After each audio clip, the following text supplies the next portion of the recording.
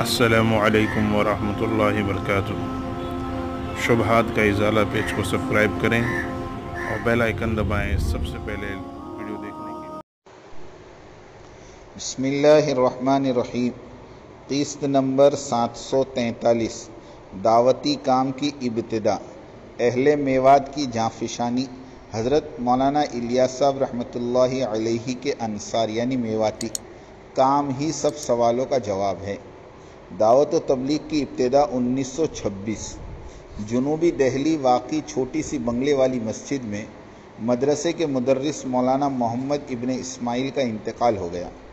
आखिरी बीमारी में छोटे भाई मौलाना इलियास कांधलवी मज़ाहिर मज़ाहिरुलूम की मदरसी मदरसी से रुखसत लेकर तीमारदारी के लिए आए।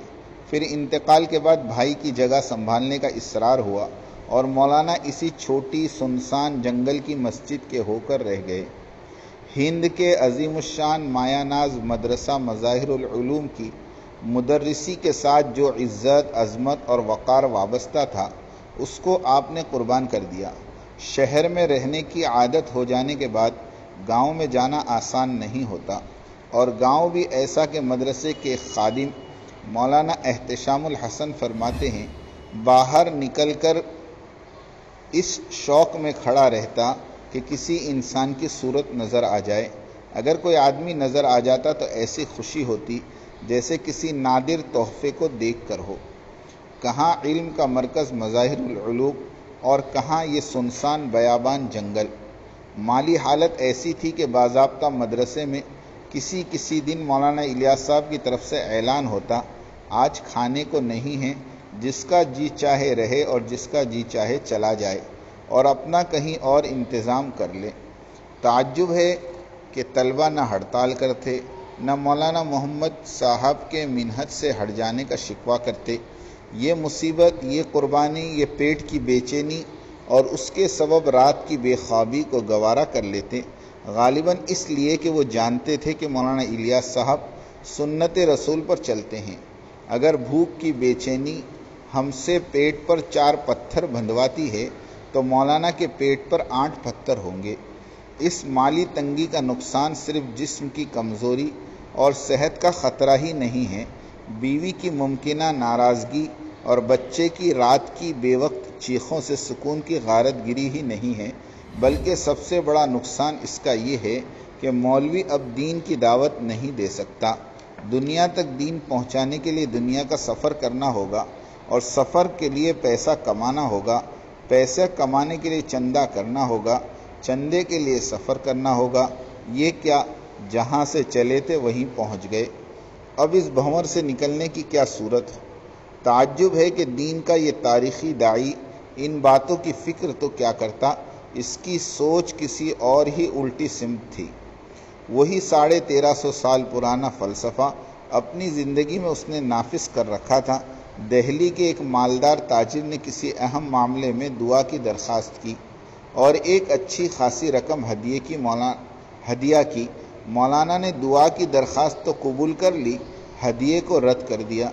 मुरीदों के दिल में आज़मत बिठाने के लिए मुनासिब तरीका था। हाजी अब्दुलरहमान साहब ने मदरसे की ज़रूरत का ख्याल करके पैसा रख लिया।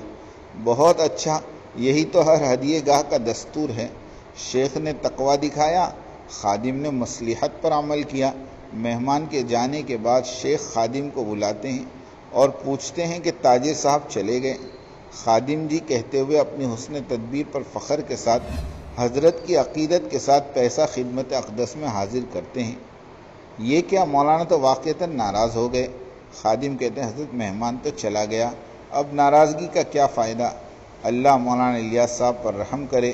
खादिम को डांट डपट कर बिल आखिर पैसा वापस करवा कर ही चैन की सांस लेते हैं। दिन गुजरते रहे, साल आते जाते रहे। कर्ज लेकर मौलाना अपने दूसरे हज के लिए हरमैन शरीफेन हाजिर हो गए। हिंद के बुत खाने में जिसकी तहजद न छूटती हो, वो मदीन शरीफ की नूरानी फ़िज़ा में भला क्या तहजद भूले। दीन की जो बदहाली देखी थी, उसकी तड़प ने रातों को रुलाया, ख्वाबों को भी सरूर से महरूम किया, इसलिए कि उनके इलाके के मेवाती कौम होली भी मनाती थी, दिवाली भी, ईद भी। उनके लिए जश्न था और शादी में पंडित जी से रस्में भी करवाते थे। नमाज़, रोज़ा तो किसी और उम्मत के लिए था, इनके लिए तो सिर्फ़ खेती बाड़ी थी। मौलाना बेचैन रहते, क्या ये उबैद सिंह का खिलखिलाता चेहरा जहन्नम का ईंधन बनेगा? क्या मेवात आमद पर वज़ू का पानी लाने वाला वो आठ साल भोला भाला मोहन बड़ा होकर अबू जहल की राय इख्तियार करेगा? मौलाना को सिर्फ़ माली मुश्किल ही का सामना नहीं था, बल्कि जिस्म भी हड्डियों का ढांचा था, बीमारियों का तांता लगा हुआ था, इसलिए ख़ुद तो इस सिलसिले में काम करना मुमकिन नहीं था दुआ ही कर सकते थे और वो उन्होंने किया। ये आवाज़ मौलाना ही की दिन और रात की बेचैनी और आंसुओं की झड़ी का नतीजा थी, मगर ये मौलाना के लिए सुकून या बशारत का पैगाम नहीं लाई, बल्कि कुछ और ही बोझ लेकर आई। हम तुमसे काम लेंगे। बार बार ये ख्याल बड़ी क़वत से दिल में उभरता था। उभरने के बाद रुख्सत होने का नाम नहीं लेता था। हम तुमसे काम लेंगे, मगर या अल्लाह, मैं तो ज़यीफ़ और नातवा हूँ। अपने ज़रूरी काम ही नहीं निमटा पाता। हम तुमसे काम लेंगे। या अल्लाह, मैं तो दुनिया के उधेड़ बुन से बेखबर, शहरों के हंगामे हयात से किनारा कश एक मामूली सा देहाती मौलवी हूँ। किसी ने तसल्ली दी कि इलियास साहब, आप परेशान क्यों होते हैं? अल्लाह तुमसे काम लेंगे। कहा गया है, अब अल्लाह जाने तुमसे कैसे काम लेंगे? तुमको इस फ़िक्र में पढ़ने की क्या ज़रूरत? पाँच महीने हरमैन शरीफैन में क़याम के बाद सन 1345 हिजरी में जब वतन कांधला वापस हुए तो दुनिया की ईमानी तारीख बदलने का इलाही फैसला नाफिज हो चुका था। वो दिन था और आज का दिन है। शहर शहर में, गाँव गाँव में, फ़िज़ाओं में, दरियाओं में, इसी मरकज़ निज़ामुद्दीन की जमात अल्लाह का पैगाम लेकर फिर रही। रेलगाड़ियों में हदीस रसूल की तालीम हो रही है और दफ्तरों में नमाजें हो रही हैं। अल्लाह हम सब की तरफ़ से हज़रत मौलाना इलियास कांधलवी को बेहतरीन बदला दे, उनके काम को मज़ीद क़वत दे रूठे हुए बुज़ुर्गों को लौटा दे। निज़ामुद्दीन की दावत वाली इस मस्जिद के फैज़ से सारी दुनिया के तमाम इंसानों के दिल रोशन फरमा दे। इंतकाल मोहम्मद इबन इस्माइल 25 रबी सानी सन 1336 हिजरी, मौलाना इलियास कांधलवी का दूसरा हज शव्वाल चौवालीस हिजरी। दूसरे हज के बाद कांधला वापसी पर तेरह रबी सानी तेरह सौ पैंतालीस हिजरी, बीस अक्टूबर उन्नीस सौ छब्बीस, दावत और तबलीग मेवात में शुरू हुई और मुसलसल होती रही मुतवातिर मेहनत के फ़वाद जिस कौम और जिस इलाके के लोगों पर मुतवातिर अरसे दराज तक मेहनत होती है तो फिर वो कौम जब उस दावती फ़िक्रों को लेकर उठती हैं तो उनमें काम की गहराई और ठहराव ज़्यादा होता है और वो लोग तन, मन, धन सब कुछ इस काम पर लगा देते हैं। और दावती, फ़हम और इदराक और जफाकशी और सादगी में मुमताज़ होकर दुनिया तमाम के लिए नज़ीर व मिसाल बन जाते हैं। इसकी जीती जागती मिसाल मेवात का इलाका है। हज़रत मौलाना इलिया साहब रहमत अहल मेवात पर मुतवातिर मेहनत करते रहे। दस साल का अरसा लगा पहली सहरोज़ा जमात निकालने में। लेकिन मेवातियों ने जिस अहमियत के साथ दावती फ़िक्र को अपनाया, वो अजहर मिन शम्स है। और दीनदारी की वो मिसाल पेश की कि करने अव्वल की याद ताज़ा कर दी। तबलीगी काम सीखने और उसके असरात को देखने के लिए बहैसियत दावती मदरसे का शर्फ जिस कतए को नसीब हुआ, वो मेवात का इलाका है। हज़रत मौलिया साहब रहमत की यही तमन्ना थी कि दुनिया की सारी अकवाम इसी तुंदही और अहमियत के साथ इस दावती काम को अपनाएँ, जिस तरह मेव कौम ने अपनाया। हकीकी हिदायत उमूमी हिदायत तो यह है कि बंदा दीन पर चलने लग जाए। ये आम हिदायत है। इसका हर बंदा मोहताज है। इसके बगैर चारा नहीं। और खसूसी हिदायत यह है कि बंदा दीन पर भी चले और दावती मेहनत को कुर्बानी के साथ करने वाला बन जाए। ये आला और अरफा मैार है हिदायत का। और हज़रत सहाबा के यहाँ हिदायत का मैार यही था। हिदायत का तस्वुर सहाबा की नज़र में। सिद्दीक अकबर रदी अल्लाह तु ने बेटे की शादी की। बेटे की बीवी खूबसूरत और शायरा, नहायत परहेजगार थी। बेटे की दीनदारी में कोई फ़र्क नहीं आया, सिवाय इसके कि दावती मेहनत और असफार कम हो गए। सिद्दीक अकबर रदी अल्लाह ने बेटे को नसीहत करते रहे, लेकिन कुछ असर होता नज़र न आया तो बेटे से कहा कि, बेटा, दुनिया की हूर से आखिरत की हूर अफजल है। इशारा था कि तलाक दे दो। यानी सिद्दीक अकबर की निगाह में इनफरादी दीनदारी कोई ख़ास अहमियत नहीं रखती थी। इनके यहाँ असली हिदायत का तस्वुर दावत की इज्तमाही मेहनत के बगैर नामुकम्मल था। कारी ज़ईद साहब रहमत ने एक बार फरमाया कि हज़रत जी रहमत ने हयात सहाबा की तालीम में अल्लाह की राह में दूर तक जाने की फजीलत बयान फरमाई और गर्मी का ज़माना था, सहन ही में लेट गए। एक मेवाती बाजू में लेटा हुआ था, देखा कि सारी रात वो ऐसे तड़प रहा था, जैसे उसे कोई तकलीफ़ हो। तहजद के वक्त उठे तो हज़रत जी ने मेवाती से पूछा, तुम रात भर तड़पते रहे, सोए नहीं? क्या कोई तकलीफ़ है? तो मेवाती ने कहा, हम तो यही सोचकर परेशान थे कि अल्लाह उम्र है छोटी और तेरी दुनिया है बड़ी, हम तेरी दीन दीन को लेकर सारी दुनिया में कैसे पहुँच पाएँगे? इसी फ़िक्र में हमने तड़पते हुए रात गुजार दी। हज़रत जी ने बात फजर बयान में इस वाक़े को दोहराया और फरमाया, वल्लाह, उस मेवाती की एक एक करवट में एक एक मुल्क की हिदायत दिखाई दे रही थी। साहब कराम का रुतबा और उनका सलूक, साहब कराम का तसवुफ़ और सलूक भी यही नकल व हरकत थी। हर सहाबी अपनी ज़ात से एक उमूमी दाई अल्लाह होता। उनमें का कोई फ़र्द अगर खिलवत और रहबानियत की तमन्ना करता तो उनके मुरबी व मुर्शिद आका नामदार सल्लल्लाहु अलैहि वसल्लम की तरफ़ से इशाद होता, ला रहबानियत फ़िल इस्लाम, और रहबानियत फ़िल इस्लाम अलजहाद फ़ी सबीलिल्लाह। दीन और इस्लाम में रहबानियत नहीं है। अलबत् इस्लामी रहबानियत जलवत, यानी लोगों से इख्तलात और दीन को फैलाने की जद्दोजहद और अल्लाह की राह में कोशिश और नबर आजमाई है। सौ फ़ीसदी मजमा मर्दों और औरतों का दीन की दावत ही को अपनी ज़िंदगी का मकसद बनाया हुआ था। यहाँ तक कि दावती काम उनकी पहचान बन गया था। सहाबा कराम के आफ्ताब थे, मगर पहचाने जाते थे बदरी और अहदी के नाम से। कौमी आन, बान और शान और कौमी जह व जलाल के मालिक थे, मगर पुकारे जाते थे तो महाजरीन और अंसार के नाम से। मरकज़ रायवण की तासीस हज़रत जी सानी मौलाना मोहम्मद यूसुफ साहब रहमत ने जब मरकज़ रायवण की बुनियाद रखी तो चंद मेवातियों ने हज़रत हाजी अब्दुल वहाब साहब रहमत को साथ कर लिया। उस वक्त हज़रत हाजी, हज़रत जी मौलाना यूसुफ साहब रहमत ने फरमाया, बोलो ज़िंदगी देने के लिए कौन तैयार है? उस वक्त अट्ठारह आदमियों ने ज़िंदगी की नीयत करके रायवण मरकज़ में बिस्तरे डाल दिए थे। सारी ज़िंदगी उन बुज़ुर्गों ने बड़ी ही कुर्बानी से दावती मरकज़ को आबाद रखा। अज कज़ाए रब सब अल्लाह को प्यारे हो गए। उन अट्ठारह में अट्ठारह में की आखिरी कड़ी हज़रत हाजी अब्दुल वहाब साहब रहमत बाकी थे।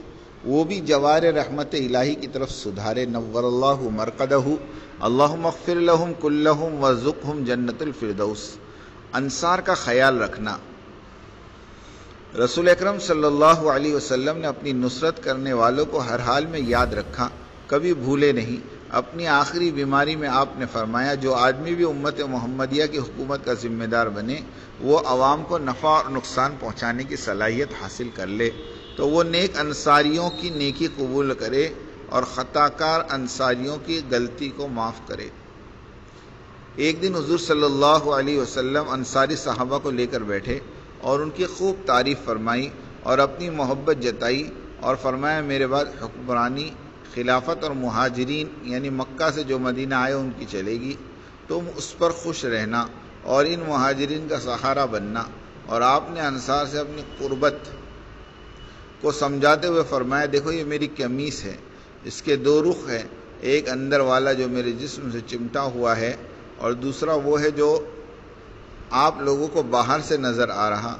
वल्लाह, अंदर का हिस्सा जो मेरे जिस्म को मिस कर रहा है, वो तुम अंसार हो।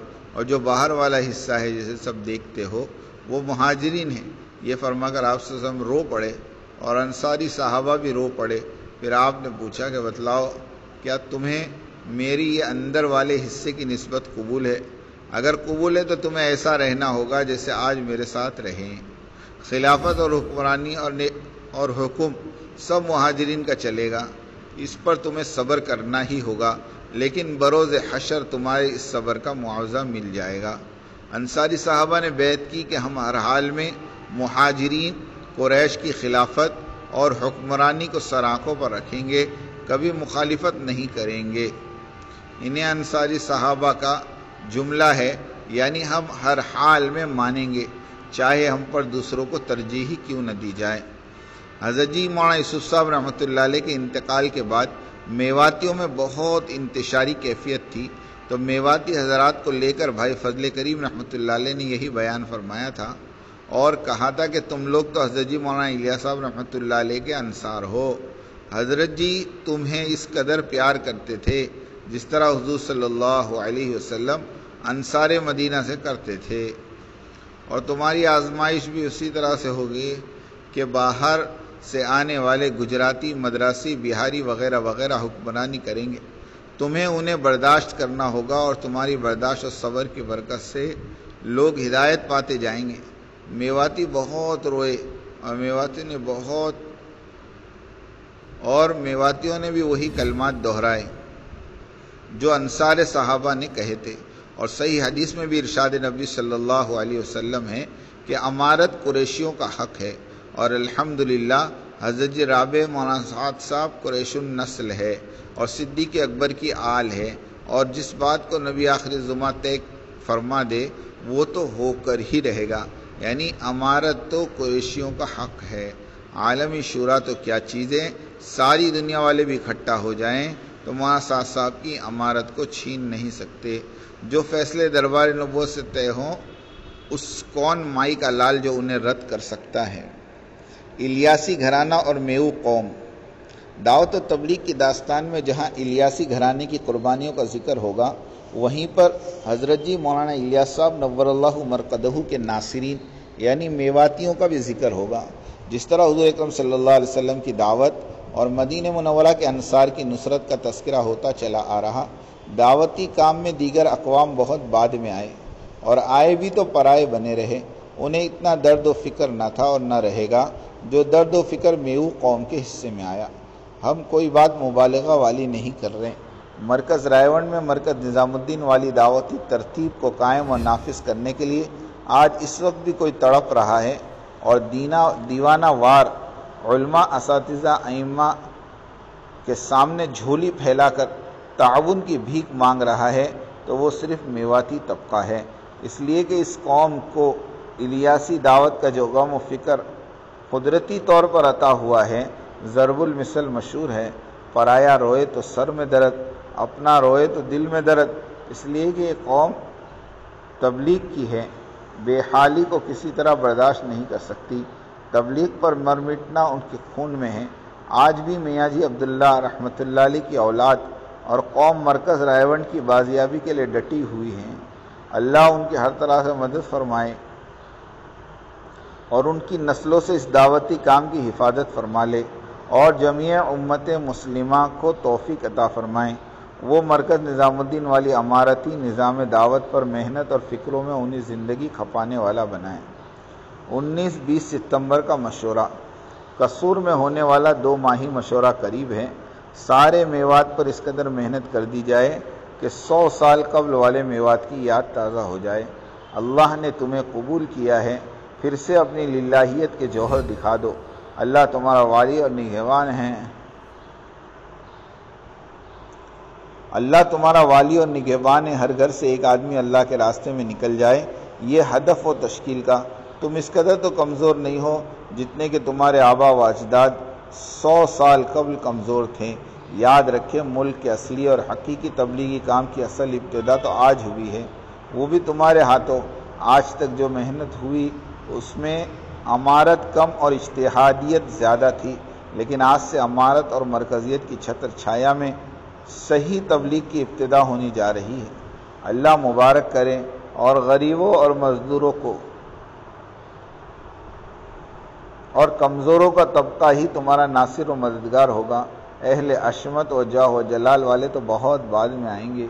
जब उनके शायान शान सीजें और मसन्नत सजने लगेगी तो हमारे इस दावती काम का तर्ज ही निराला है। जो भी नुसरत को आएगा, वो कमज़ोर और बेहसियत ही होगा। वजह अमिन अक्सल मदीनत रजुलस आ गिरे पड़े लोग ही हमारी जमात है। आला व अरफा किस्म की बरदरी दूसरे नंबर पर है। बानियान तबलीग अम्मार, यासिर, बिलाल और खब्बाब। खब्बाब सब के सब फकरा और गुरबा। इलियासी दौर के नासरीन भी अनपढ़ गंवार मेवाती हालाँकि ज़िले मुजफ्फरनगर, यूपी के आला मैार के तबकों की कमी नहीं थी, मगर ये तबका इस्तेमाल ज़रूर हुआ, मगर इलियासी दावत को मशकूक और मुशतबा करने में, इसलिए बड़ों का इंतज़ार वक्त को ज़ाय करने के मुतरदफ है। बाबू साहिबान और मियाँ साहिबान और अहल इल्म हशमत को कोई नहीं आएगा, चाहे इनके सवालात और एतराज़ात के जवाबों का अंबार लगा दिया जाए। इसलिए कि हमारे दावती काम में आदमी का वक्त मांग कर लेना है, मनवा कर नहीं, और मनवाने के लिए दलील की हाजत दरकार है। मांगने के लिए नहीं, दरवाज़ा खोल कर दाखिल होना है तोड़ कर नहीं। मांगते रहें, दरवाज़ा ज़रूर खुलेगा। इसलिए कि जिस ज़ात अकदस की तरफ़ बुला रहे हैं, वो ज़ात तो हमतन हमारी तरफ़ मुतवजह है। इन ननी माकुमा असमाऊ व अरा अनतुमा वमन तबाकुमल गालिबून। इस ज़ात आली की निदा है, जब मसंद फ़कर पे बैठ गए, शाही की तमन्ना कौन करे, जब मालिक कौनन अपना हो, कौनन की परवाह कौन करे, अल्लाह हमारे हौसलों को बुलंद रखे और उमूमी हिदायत के फ़ैसले फरमाए। आमीन आमीन आमीन। वाखिर दावाना अनिलहमदिल्ला रबालमीन